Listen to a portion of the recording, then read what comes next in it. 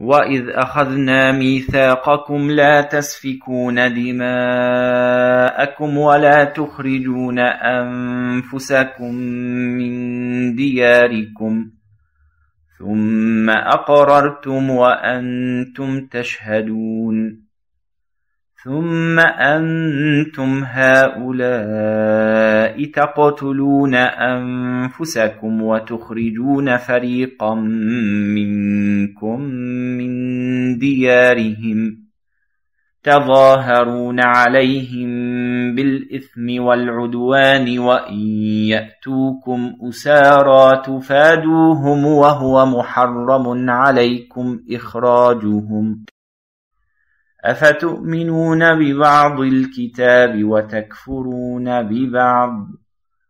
فما جزاء من يفعل ذلك منكم إلا خزي في الحياة الدنيا ويوم القيامة يردون إلى أشد العذاب.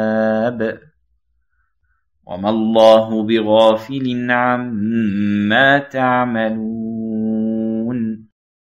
أولئك الذين اشتروا الحياة الدنيا بالآخرة فلا يخفف عنهم العذاب ولا هم ينصرون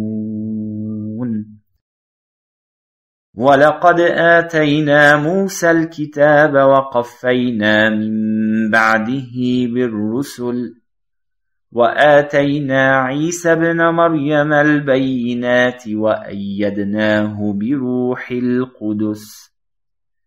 أفكلما جاءكم رسول بما لا تهوى أنفسكم استكبرتم ففريقا كذبتم وفريقا تقتلون.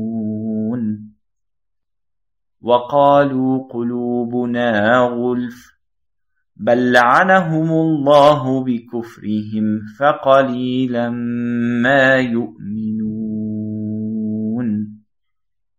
And recall when we took your covenant saying, Do not shed each other's blood or affect one another from your homes. Then you acknowledged this while you were witnessing. Then you are those same ones who are killing one another and affecting a party of your people from their homes, cooperating against them in sin and aggression.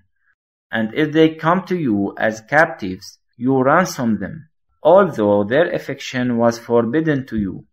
So do you believe in part of the scripture and disbelieve in part?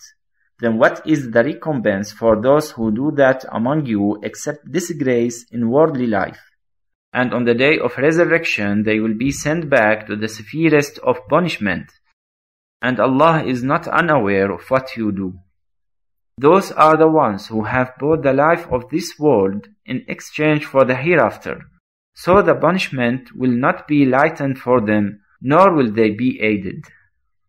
And we did certainly give Moses the Torah and followed up after him with messengers. And we gave Jesus, the son of Mary, clear proofs and supported him with the pure spirit.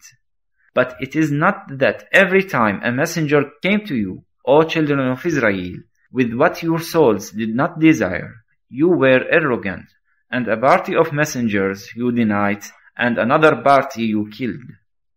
And they said, our hearts are wrapped, but in fact, Allah has cursed them for their disbelief, so little is it that they believe.